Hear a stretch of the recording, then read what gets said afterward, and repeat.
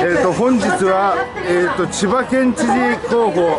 河合祐介さんにインタビューいたします。よろしくお願いします。お願いします。まあ長い選挙戦でしたが、はい。えー最終日になりご感想を伺いますが寂しくてしょうがない。もうやめたくない。あ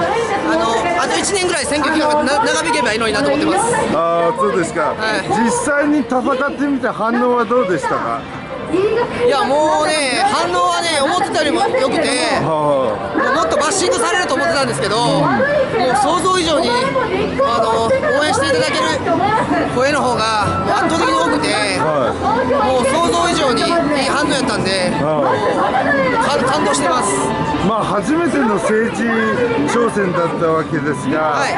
まあ政治に関わってみた感想っていうのはありますか？いややっぱりね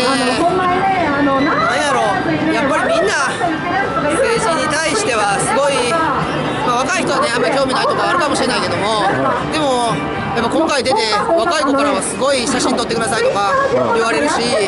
年配の人は当然政治にやっぱ結構興味持ってるからもう全世代にこうある程度認知されたっていうかやっぱ政治に関わるとこれだけパワーが生まれるんだなっていうのは本当に想像以上だったんで。もう本当にやっぱり、あのなんだろう、まあ、こ今後ね、もし政治活動やるかわからないですけど、まあやるとした場合は、本当にもっともっと勉強して、あのもっとあのなんていうんだろう、強い信念を持って、あのマニフェスト作り上げて、また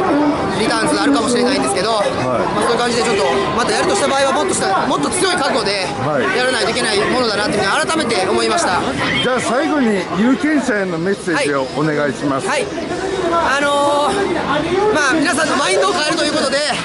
ことで、今回、まあ、こういうパフォーマンスやらせていただいたんですけど、まあ、少しは私の言ってることも伝わった部分もあるかなと思うので、あのーまあ、今後もね、私のなんか言ってたことを頭の片隅に置いていただいて、いいあのいいね、あの千葉をみんなで作り上げていっていただいたらなと思います。ありがとうございました。河合祐介さんでした、はい。ありがとうございました。はい